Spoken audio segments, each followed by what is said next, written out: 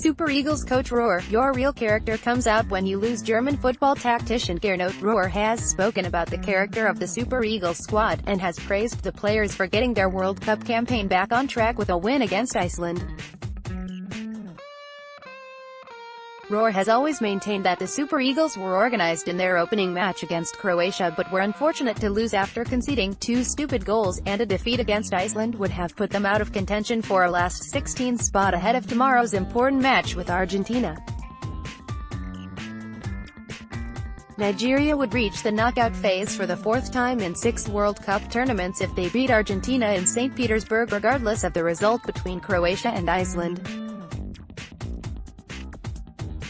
Despite the huge pressure of expectation, it's important that the joy of participating at a World Cup remains tangible in every training session, Rohr said to FIFA.com.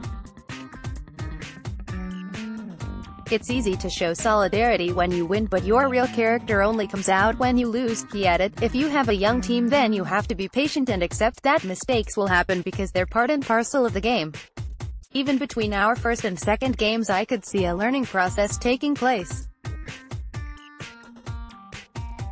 The team will get better again in the third match. Nigeria became Africa's most successful team in World Cup history, ahead of Cameroon, following their 2-0 win over Iceland. Io Kingsley photo credit, FIFA.com.